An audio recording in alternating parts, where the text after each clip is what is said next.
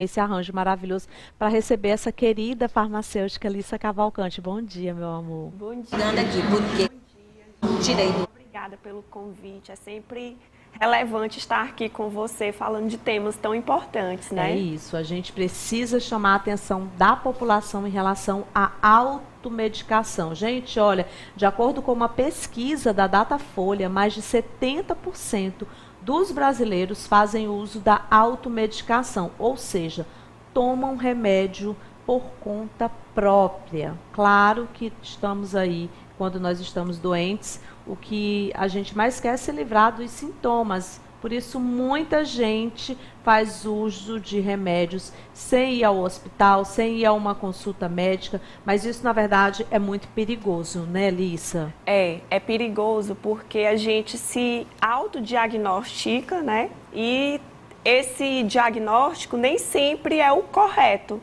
E aí a gente retarda o tratamento correto, retarda as chances de se recuperar, de tomar os medicamentos adequados e a automedicação é eu achar que tenho algum sintoma, alguma coisa e ir até uma farmácia, na internet até mesmo, as vendas de medicamentos na internet de forma assim discriminadas, uhum. é, proporciona essa automedicação com facilidade.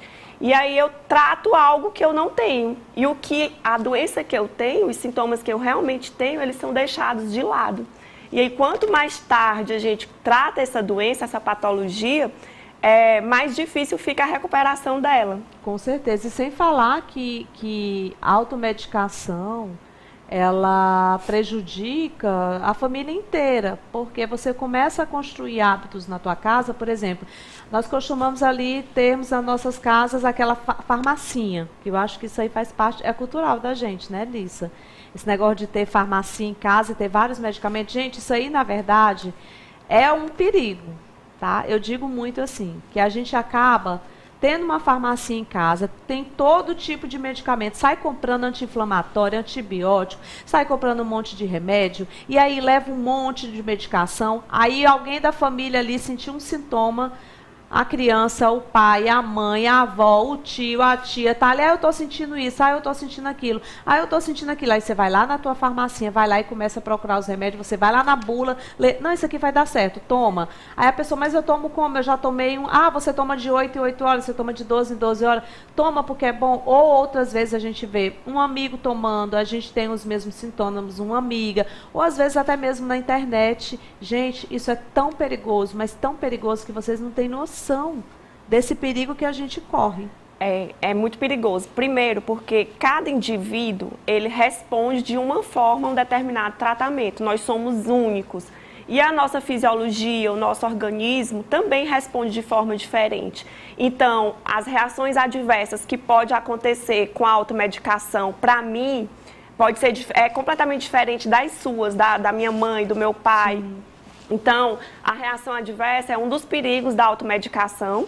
A interação medicamentosa que ocorre entre as moléculas químicas, que a gente sabe que um medicamento é uma molécula química que entra no nosso organismo e mimetiza uma ação fisiológica. Então, existem interações medicamentosas entre essas moléculas químicas que potencializam essas, essas reações adversas ou potencializa o efeito, enfim efeitos colaterais. Então, são os riscos da automedicação. Inclusive, efeitos colaterais que possam vir junto a esse medicamento e que precisam ser falados ali para o seu médico ou para a sua médica. Né? Eu, por exemplo, recentemente, é, eu tive uma, uma gripe mal curada.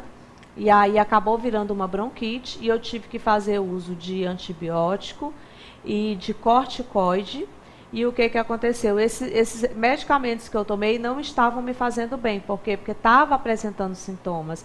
Então, na mesma hora que eu comecei a sentir que eu estava com esse, essas dificuldades, eu já entrei logo em contato com o médico. E olha que não, é uma, não foi nem uma automedicação, foi um remédio prescrito, prescrito, pelo médico. Então é uma coisa que pode acontecer. Prescrito e supervisionado. supervisionado. Um tratamento supervisionado por um profissional adequado. E você teve uma reação, seu organismo não respondeu da forma que o médico esperava. Exatamente. Só que ele tem o conhecimento teórico e prático para modular, que é que eu... modular essa reação que você está sentindo Carla, então toma medicamento X, Y, Z.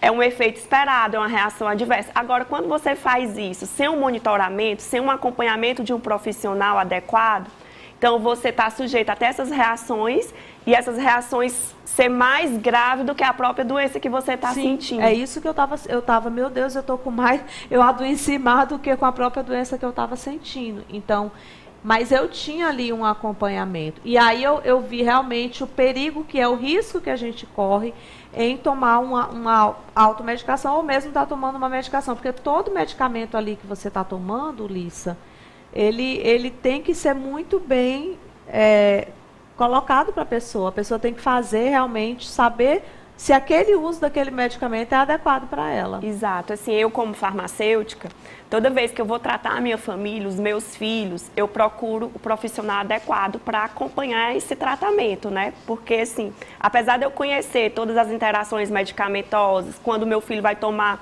um antibiótico, eu estudo sobre ele, sobre os riscos. Como farmacêutica, eu entendo da farmacologia. Só que os sintomas clínicos, eles estão associados ao médico. Então, sempre que eu vou dar algum medicamento para o meu filho, eu consulto o profissional habilitado para prescrever. Tem aquele ditadozinho, né, Carla? Casa de ferreiro, espeto, espeto de, pau. de, pau. Então, eu estudo muito. E aí, Lisa, mas tu é farmacêutica, por que, que tu não indica o medicamento para o teu filho? Não, porque existe um médico, um profissional habilitado a prescrever. E assim, quando a gente trata alguém mais próximo, a gente que é da especialidade, a gente nunca se sente seguro o suficiente, né, para estar tá indicando. Então, como farmacêutica, eu tenho esse cuidado na minha casa. Isso. Meu esposo, Lisa, o que é que eu tomo? Estou com dor de cabeça. O meu amor, vá no médico, porque ele que vai saber tratar. É, Agora, exatamente. com relação ao remédio, como aí já é outro, outro assunto, né? Lisa, há também a possibilidade da pessoa desenvolver uma certa resistência aos medicamentos? Sim, o nosso organismo, ele é muito inteligente. Uhum. É uma máquina muito inteligente que ela vai se adaptando àquelas modulações que a gente está oferecendo para ela. Então, constantemente, a gente é necessário, quando a gente trabalha com, com medicamentos individualizados, terapias hormonais, é necessário aumentar a dosagem do hormônio, é necessário fazer os ajustes adequados. Por quê? Porque o nosso organismo ele vai adquirindo essa inteligência natural, essa modulação para digamos assim, se tornar resistente à dosagem do medicamento. Uhum. E quando a gente fala em resistência, é muito importante a gente falar dos antibióticos, né? Porque é, a automedicação com antibiótico me preocupa muito. Eu não dou antibiótico, eu não aconselho ninguém próximo a mim tomar antibiótico sem um acompanhamento e sem um diagnóstico fechado de um médico. Verdade. Por quê? Porque a resistência bacteriana, ela é um problema na saúde pública muito grave. As infecções que ocorrem nos hospitais, ela está muito interligada às resistências das, das bactérias. As bactérias ficam tão é, resistente a uma determinada molécula, uma determinada substância química, que aquele antibiótico ele não, já não responde, não responde, mais. Então a gente vai é, gastando munições, né, com munições erradas. erradas. E aí as nossas bactérias vão se tornando resistentes e cada vez fica mais difícil tratar uma infecção bacteriana, viral, enfim. E aquilo que a gente estava falando bem no início do programa com a doutora Glenda, que é geriatra, prevenir é sempre a melhor solução, né? É, chegou algumas perguntas aqui para a Alissa, a gente vai deixar para uma próxima entrevista, que inclusive tem muita gente perguntando sobre os remédios manipulados. E a Alice, inclusive, ela tem uma farmácia de remédio, é, faz a medicação, a farmafórmula, e aí a gente vai trazer você para responder essas outras perguntas sobre remédios manipulados quando há necessidade de indicação e, e, como é feito esses manipulados e tudo. Inclusive, você falou de fórmulas. Então, assim, hoje a gente tem aí reposição hormonal, a gente já pode aproveitar também para fazer reposição hormonal. Enfim, a Alissa vai vir de novo aqui para falar sobre esse assunto, porque tem muita pergunta sobre isso, tá bom? Tá bom. Muito obrigada pelo convite. Sempre é muito bom estar aqui com vocês. E sempre é muito bom tê-la aqui com a gente também através dos seus conhecimentos. Gente, o programa de hoje está ficando por aqui. Lembrando que hoje à noite, a partir das 21h30, não esquece, a gente se encontra no Canal Saúde. Beijo. Tchau.